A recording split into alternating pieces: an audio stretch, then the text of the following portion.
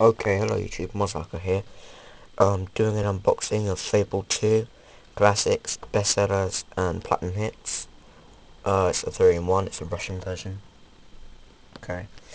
Um, bought this for uh, 1,349 rubles. Well, I didn't, my nan got it for me. Um, it's a 16 plus game.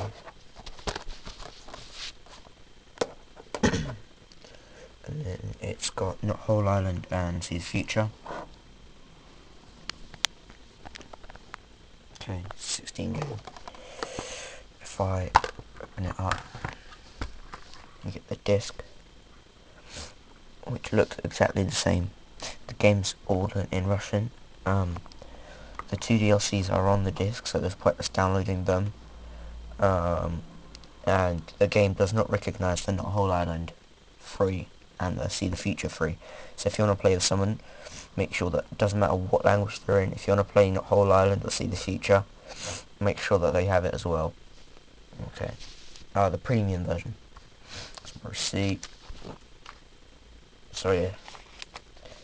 1349 rubles.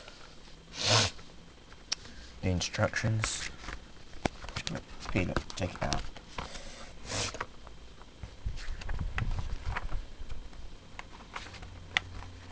Also, this game is um, a bit hard. If you, if you want to learn Russian, this this game isn't the way to go. But yeah. Anyways, here's the gamepad. And here's another interesting leaflet. This Forza Motorsport 3. And it tells you the two DLCs that the game comes with. I'm back. Okay, so rate, subscribe.